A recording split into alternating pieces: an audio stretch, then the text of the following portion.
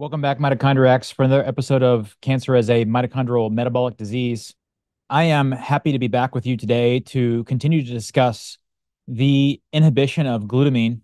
And in the last video, when talking about DON, I wanted to present at least the poster child for the inhibition of glutamine as a drug because it's something that is talked about a lot by Dr. Seyfried in particular. I wanted to cover it.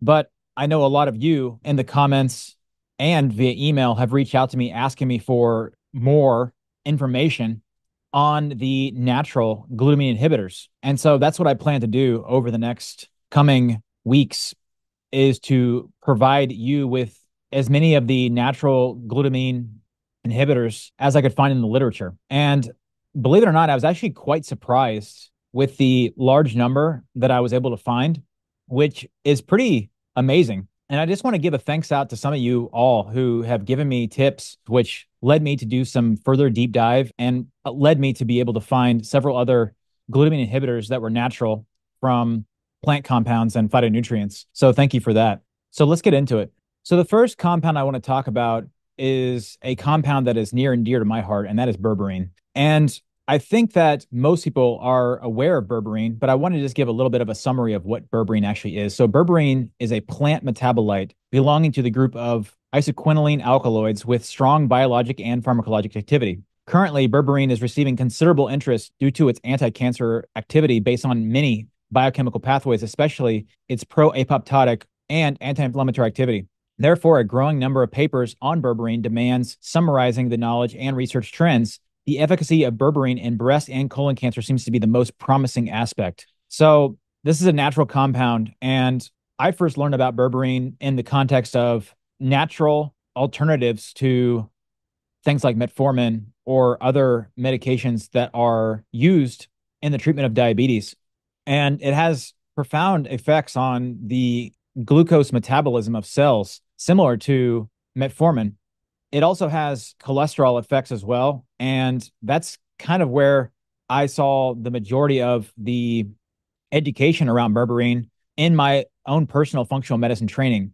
And we're going to hit berberine from a variety of angles because it has so many different important targets within cancer biology. But today, we're going to specifically talk about it in regards to its effects on glutamine. So, this paper is titled berberine as a potential anti-cancer agent, a comprehensive review. And it says here berberine, a potential bioactive agent, has remarkable health benefits. A substantial amount of research has been conducted to date to establish the anti-cancer potential of berberine. The present review consolidates salient information concerning the promising anti-cancer activity of this compound. The therapeutic efficacy of berberine has been reported in several studies regarding colon, breast, pancreatic, liver, oral, bone, cutaneous, prostate, intestinal, and thyroid cancers.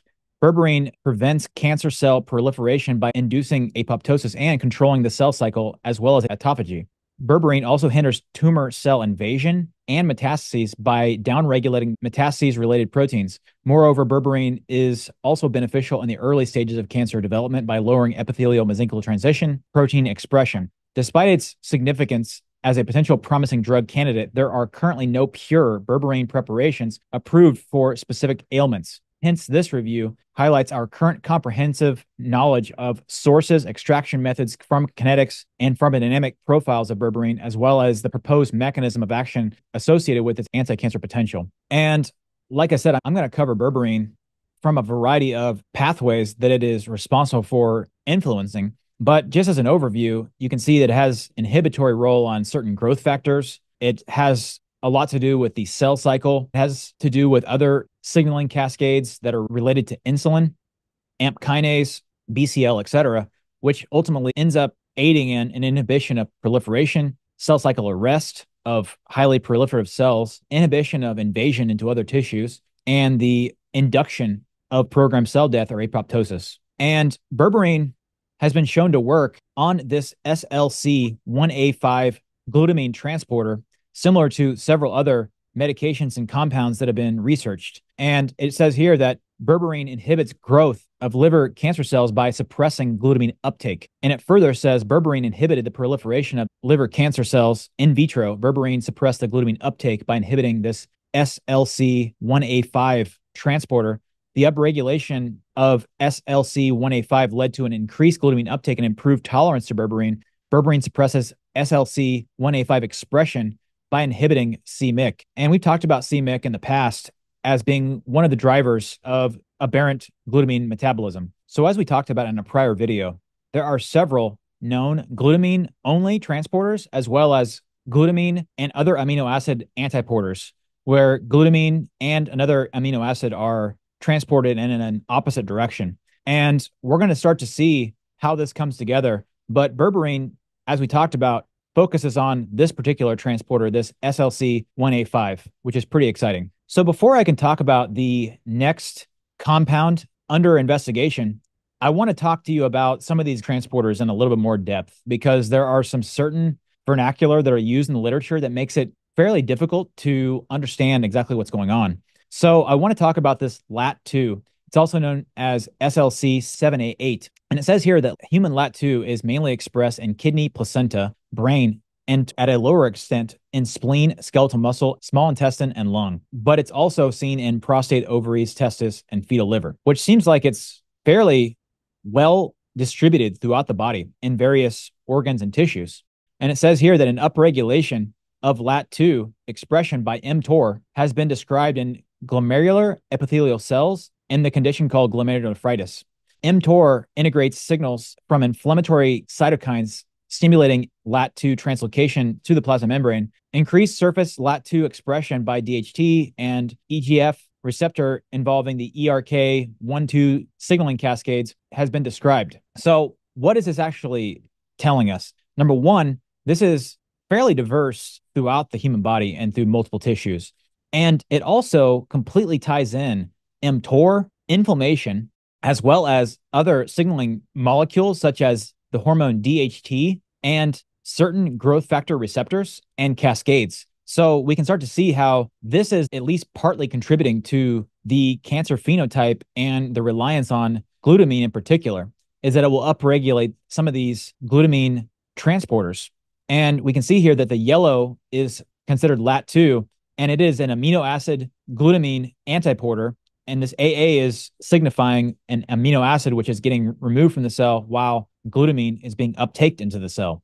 And so I give you that background because this LAT2 has been shown to be found in several different types of cancer. And it says here in this paper that LAT2 regulates glutamine dependent mTOR activation to promote glycolysis and chemoresistance in pancreatic cancer. It says that reprogrammed energy metabolism has become an emerging hallmark of cancer in recent years. Transporters have been reported to be amino acid sensors involved in controlling mTOR recruitment and activation, which is crucial for the growth of both normal and tumor cells. And it says the results of a survival analysis indicated that high expressions of both LAT2 and LDHB predicted a poor prognosis in patients with pancreatic cancer. Furthermore, we found that LAT2 can promote proliferation, inhibit apoptosis, activate glycolysis, and alter glutamine metabolism to activate mTOR in vitro and in vivo. And you may be asking yourself, why am I going down this path of this LAT2 cascade? And the reason is because the next compound that I want to talk about, curcumin, happens to work upon that mechanism, or at least that is one of the ways that it works on cancer metabolism. And I just want to give you a background of what curcumin is for those who don't know. So, curcumin is an active polyphenolic pigment obtained from the rhizomes of Curcuma longa, or the turmeric plant.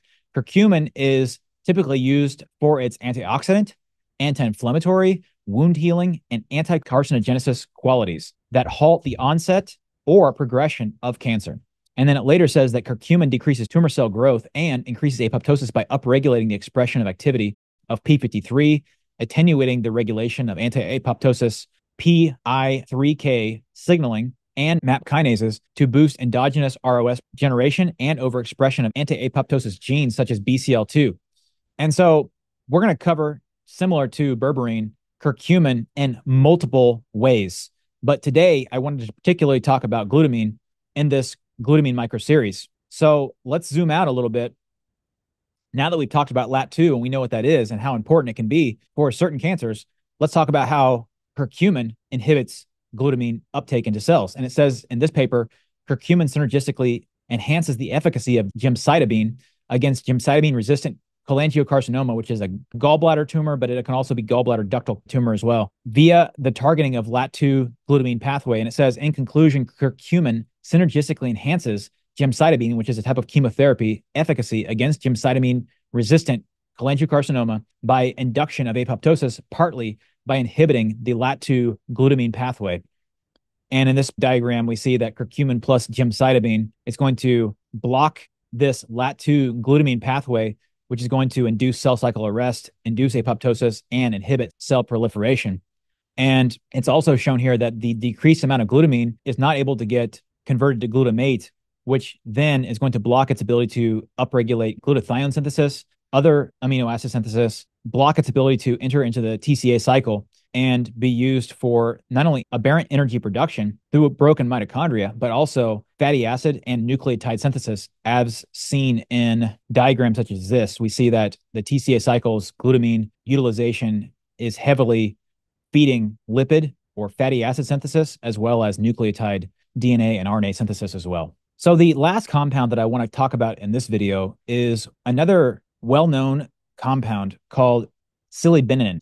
And silibininin is a mixture of essentially flavonoids extracted from the milk thistle plant and has often been used in the treatment of acute and chronic liver disorders caused by toxins, drugs, alcohol, hepatitis, gallbladder disorders for its antioxidant and hepatoprotective properties. And it says in this paper titled Silibinin, a potential old drug for cancer therapy, it says further research suggests that silymarin may function diversely and may serve as a novel therapy for cancer therapy, such as lung cancer, prostatic cancer, colon cancer, breast cancer, bladder cancer, and hepatocellular carcinoma or liver cancer by regulating cancer cells' growth, proliferation, apoptosis, angiogenesis, and many other mechanisms.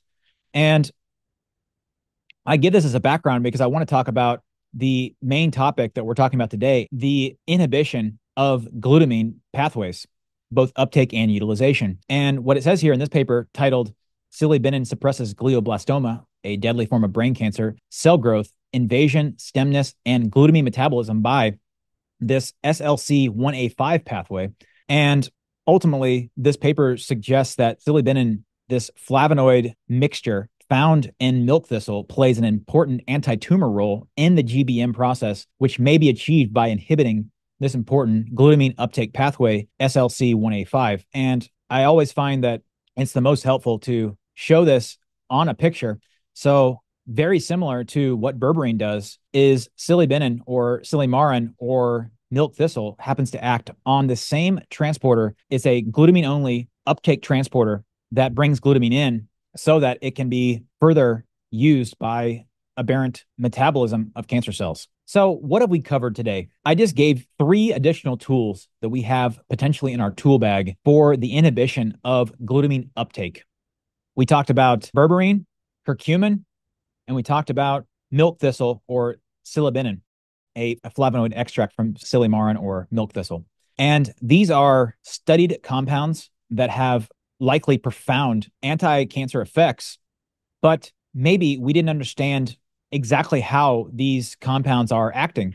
And although most of these compounds have pleiotropic effects where they are affecting dozens of chemical pathways, I do think that given the importance on the reliance of glucose and glutamine, I do believe that it's glutamine uptake inhibition to be one of the most important mechanisms by which these compounds likely work. And one of the other things that I wanted to mention is that when I first started going through a lot of this literature, I was fairly disheartened by a graphic like this because, as you can see here, the majority of the purple bubbles with different chemical names are things that are not attainable for most people to get their hands on. However, things like milk thistle or berberine or curcumin or EGCG, as we'll talk about in the next video, are things that are readily available, are known to be safe, and likely have diverse roles on these pathologic processes. If you like videos like this, please like it. If you have someone that you know about who potentially could utilize this information, please share it with them. Please subscribe if you want to join our mitochondriac army and learn all there is to know about mitochondrial metabolic therapy. And until next time.